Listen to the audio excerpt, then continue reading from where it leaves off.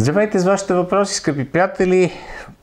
Спирам се на една тема, която повдига Денислав Михайлов, който пита как ще се отразят сериозните ограничения в използваните компоненти в задвижващите системи през 2018 година. Предполагам, че една немалка част от вас вече знаят, че примерно двигателите, които всеки един пилот ще може да използва в сезона 2018 година, ще бъдат не 4, а 3.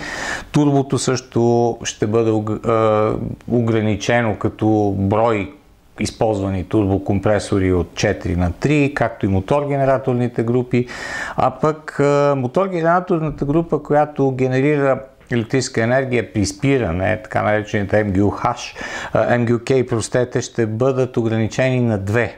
Две ще бъдат само и възможностите за промяна в батериите, в всички тези компоненти, които са свързани с генерирането на електрическата енергия и след това обратното използване при движението на автомобилите. Как ще се отрази всичко това на работата на, на екипите, изобщо на спорта като цяло?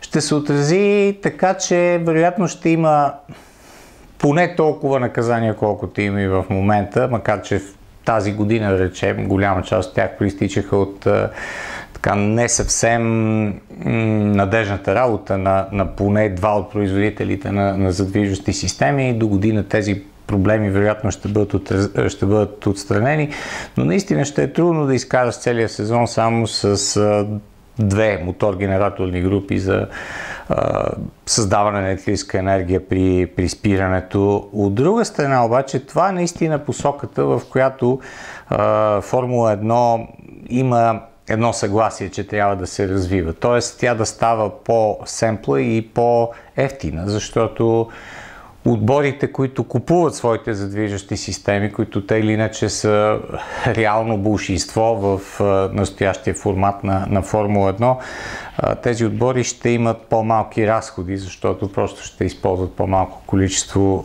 компоненти в задвижащите системи, поне за тях. Разбира се, другите разходи дори могат да се увеличат, но някаква драматична промяна в спорта за, с това, че ще бъдат намалени двигателите от 4 на 3 и турбокомпресорите също от 4 на 3, честно казано едва ли ще настъпи, защото технологиите вече се развиха така, че виждате колко малко отпадания по принцип поради технически проблеми има в, в формулата в момента.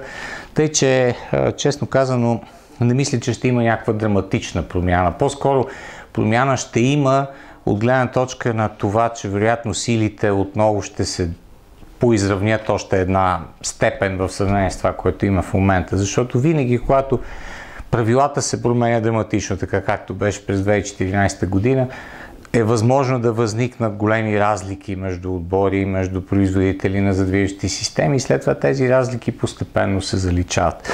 Тъй, че е, мисля, че това ще бъде просто още една стъпка към отиването на спорта в посока на на изравняване на силите. Благодаря за въпроса на Денислав Михайлов. Ще бъдем отново заедно съвсем скоро.